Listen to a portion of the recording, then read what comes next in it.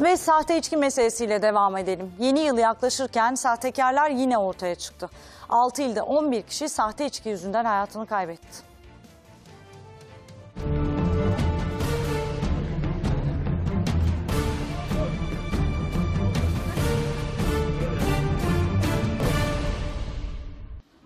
Sahte içki yine can aldı. 6 ilde 11 kişi tedavi edildikleri hastanede hayata gözlerini yumdu. Kahramanmaraş'ta 8 kişi tedavi altındaydı. Elbistan ve 12 Şubat ilçelerindeki hastanelerde 4'ünün ölüm haberi duyuldu.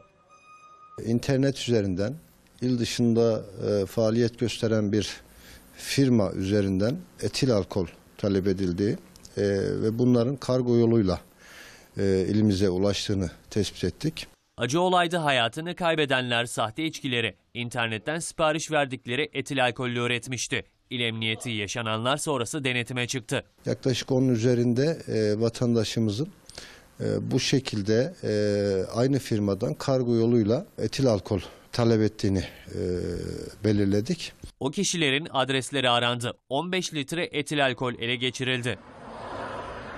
Sahte içki Yalova'da da ölüme yol açtı. Orada çekyat vardı kaldırdık onları. Çınarcık ilçesinde metil alkolden yapılan içkiyi tüketen iki arkadaşın adreslerinde cansız bedenleri bulundu. Kaç yaşındaydın?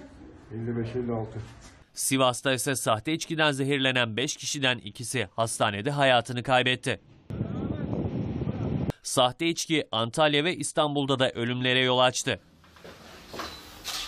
Mega kentte bir iş yerine yapılan denetimde 200 şişe sahte alkol ele geçirildi. Bir büfeci gözaltına alındı.